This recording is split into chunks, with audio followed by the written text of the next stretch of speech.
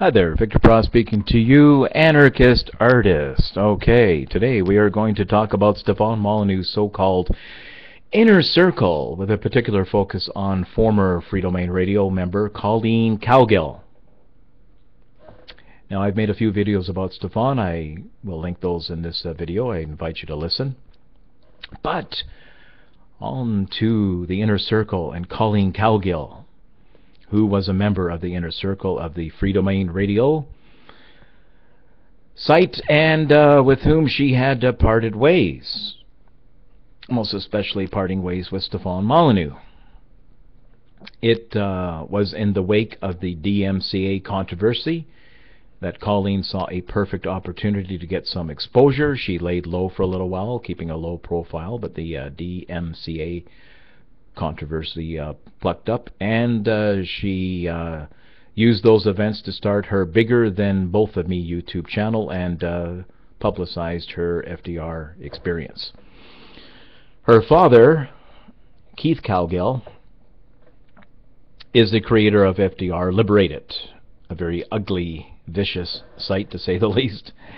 And she uh, was not public about this conflict of interest from the very beginning. Uh, Colleen wasn't. She kept a low profile, as I say. But her daddy dearest, Keith, uh, pressured uh, Colleen to uh, public, publicly portray FDR to ensure that uh, she would never defoo from him again. Very clever tactic, I guess. Get the kid to make a public record, a public document of maligning Molyneux, and it kind of lets him off the hook of any uh, responsibility. So as to that, let's get to the backstory.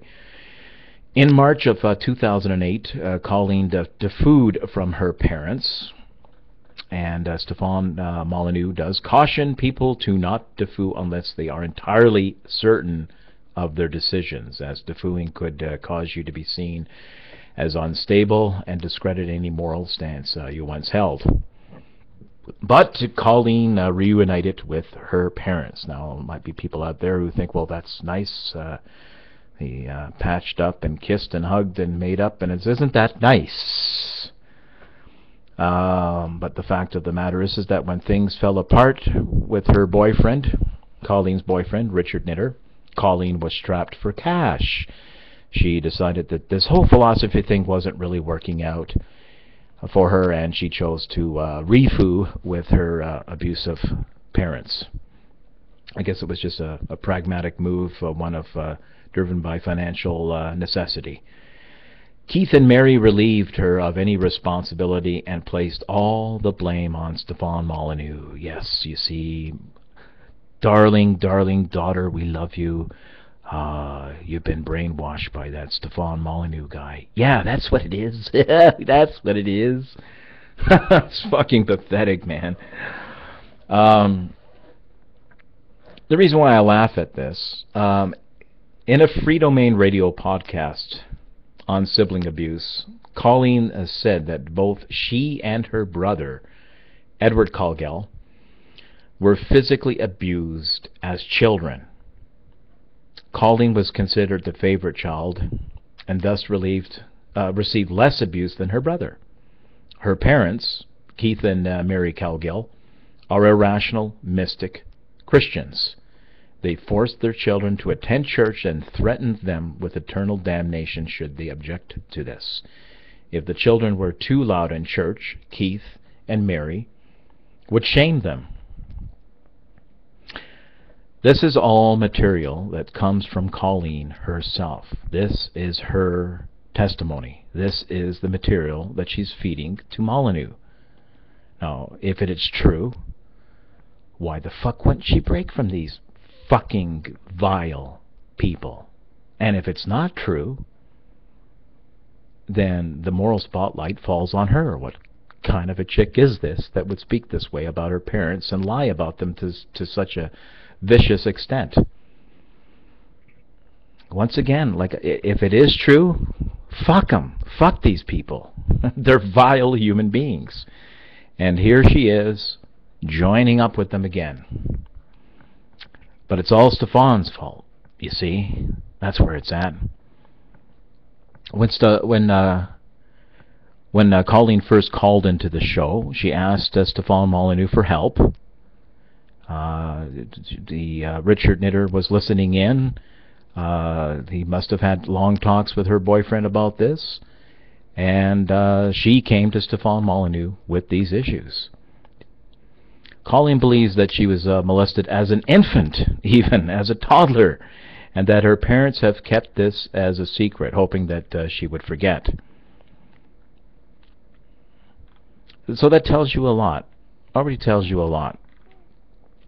Now there's uh, there's other out, uh, sites out there besides FDR uh, Liberated. There's Liberating Minds, which is truly a vile fucking site, and um, Molyneux had something to say about that, and I think that's rather relevant to uh, today's uh, conversation. And to quote Molyneux, um, Liberating Minds is a forum founded and mostly populated by a small number of malcontents who were banned from Freedomain Radio for various uh, dysfunctional and destructive purposes. It, it has literally thousands and thousands of posts written by a few people viciously and personally attacking me and various uh, listeners. Uh, since Liberating Minds is the only website where people endlessly fixate on Freedomain Radio and have for almost 18 months, its members are are almost certainly the source for articles such as the recent one about free, Freedomain Radio in The Guardian, written by Kate Hilpern. And uh, Stefan quotes uh, one particular malcontent, uh, uh Mr. Swinkles, who was uh, first all fixated on uh, Molyneux, and he, he writes, "It truly is, it truly, it really is truly amazing, as you say, that somewhere in a dark little corner of the internet there are these people who really seem to just be correct about, well, all about the important aspects of life and science and philosophy, about all the stuff that philosophers and scientists and moralists and theologians and so on have discussed for, milli for millennia. Amazing, but true. And then uh, Molyneux uh, reports uh, that uh, this uh, effusive praise uh, turned into virulent and long-lasting hatred. Uh, Mr. Swinkles was on the message board at Freedomain Radio for about two months, starting in April 2007, and listened to over 700 podcasts during this time. He became increasingly difficult and unpleasant after some ugly interactions between Mr. Swinkles and myself, as well as other listeners, uh, which I was not able to resolve. I asked him to stop posting on the board and closed his account. Unfortunately, Mr. Swinkles did not take this decision very well at all. He founded the Liberating Minds Forum, uh, where he and others who had been uh, banned from Freedomain Radio uh, started viciously attacking me. He began creating uh, fake uh, Freedomain Radio uh, user IDs, picking fights, and so on. He also began using the FDR message system to speak ill of me to my listeners. And over the course of the last few years, I've had to ban about 40 people uh, from the board out of 3,000 members, so a little over 1%. Almost all the people who regularly post on Liberating Minds are people I banned from posting at FDR for reasons which I hope will be clear.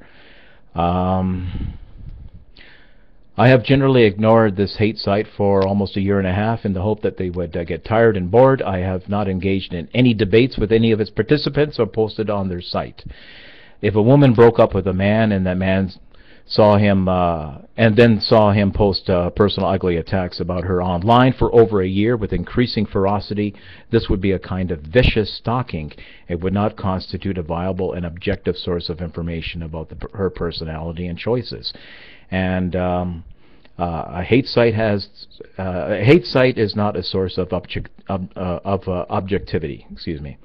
Any more than a viciously anti-Semitic site is the source of objectivity about uh, Jews.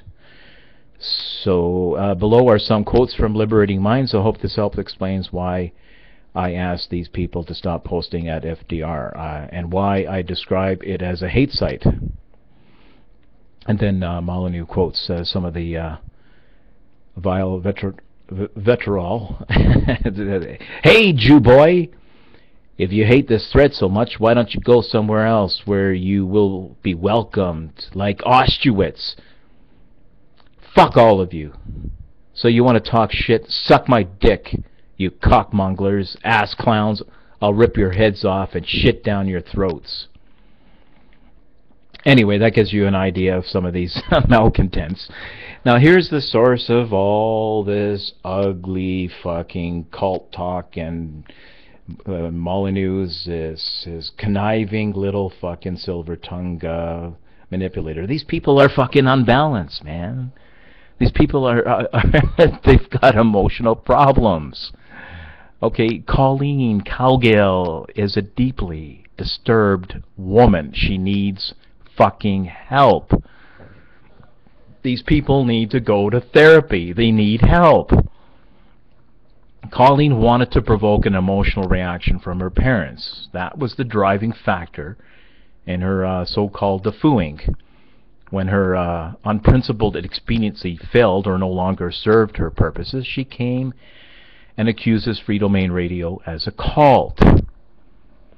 She has made a few videos uh, slandering the community, there, there's no valid arguments there. It's just a, a, repetition of cult talk. Just say it enough, or repeat it over and over. Maybe some of it will stick. That's the idea here. At first, she took an emotional uh, swing at her parents, but the emotionally imbalanced manipulator saw a greater advantage in aligning herself back to her abusive parents, and is now coming out swinging at Freedom Freedomain Radio. Just like the Swinkler guy, he's all effusive praise. It's like a it's like the guy that shot Lennon, you know, he's a Beatles fan for years, gets Lennon to uh, to sign his album and then shoots him, you know. They're fucking disturbed people. But anyway, I'll close off this uh, this video podcast. That's uh, that's good enough to touch on that subject. Victor Pross signing out, anarchist artist.